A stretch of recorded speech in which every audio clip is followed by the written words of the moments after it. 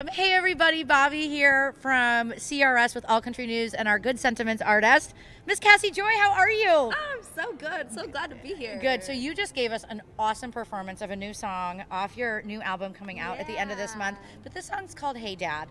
As a daddy's girl to I'm assuming another daddy's girl, talk Mm-hmm. to me about why this song just had to be on the album. Yeah, I um yeah, I'm always been a daddy's girl and I am not very good at telling the people that I love so much Oh God, how much I love them Yeah. and sometimes it's easier for me to just put it in a song and I knew you know my dad really has deserved a song and I've always wanted to write one for him and I felt like, you know, debut album, let's go, dad. Oh my gosh, I love it. Well, you have had some really fun, exciting things, but I want to talk to you about representing Kansas City with the Kansas City Chiefs. First of all, who's your favorite Kansas City Chief? Uh, ooh, I was gonna just blurt out Patrick Mahomes, but I'm getting real into Travis Kelce. Okay, high five. Hey, Travi. Hi.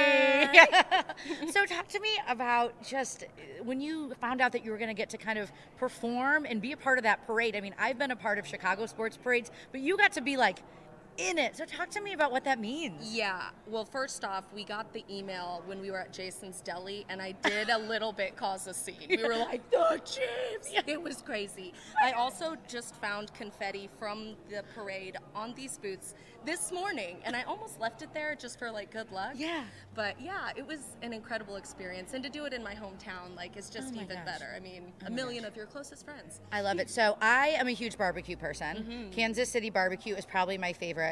If I go to Kansas City, like, where do I have to go to get barbecue? Mm, everybody will tell you a different answer. Okay. I'm gonna go top three: Gates, Ooh, okay. Arthur Bryant's great sauce. Okay. Um, actually, I'm going to just give you a top two. I Yeah. can't even name another one. I love it. I love it.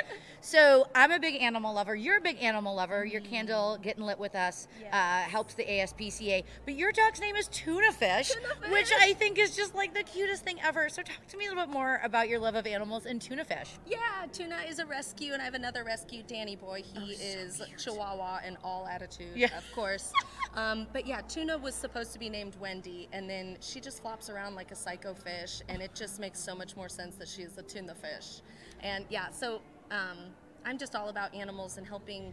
Um, be a voice to the ones that you know don't Yeah. have a voice. Oh my So, gosh, I love it. I love it. So let's talk about the new album, Mhm. Miles and Memories. So so excited, and it comes out. Oh my gosh, I think in under two weeks. Yeah. So what does it mean to you to have a debut album? And kind of talk to me about the creative process. I'm sure building a debut album, you have so many songs to choose from. Yeah. So talk to me about the new album.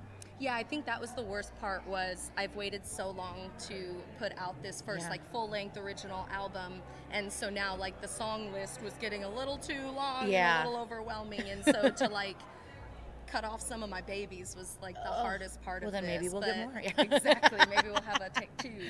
Um, but yeah, I'm just so excited. Um, it's a very raw album. I Great. get real deep. I mean, you saw with Hey Dad. Yeah. Um, and there's some that get, you know, kind of dark and then and then I'll lift you right back up and I we'll sing it. about, you know, money problems and laugh our way through it. Oh, I love it. Literally story of my life. Yeah.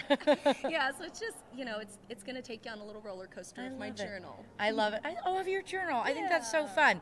But March being Women's History Month, Mhm. I love women in country. I grew up with, you know what I mean, both Leanne's and Martina and Faith. Talk to me about women in country and what they've meant to your career. Oh, I mean, the women in country have been everything for my career, Yeah. and for my inspiration, and where I pull things from, songwriting wise and performance wise. Um, and I grew up on singing Patsy Cline, Oh Tanya God, Tucker, love. Brenda Lee, LeAnn Rimes, of course. Oh, yeah. yeah. Um, and so yeah, they've just been so influential in just like the music and the artists that I've become and put out. Oh my gosh, I love it. So to wrap things up here, I can't believe we're already like midway through March, but what are your goals for yourself this year? Um, I mean, just getting this album out is what Yeah. I'm so focused on, and just Yeah. you know making sure that you know that's as successful as that it can be. And you know, I just really want these songs to connect Yeah. with people, and and we're of course going to be getting on the road soon, so we'll be announcing that. And uh, yeah, just excited for a busy year. Awesome. So excited for you guys. Casi Joy. Awesome. Groovy.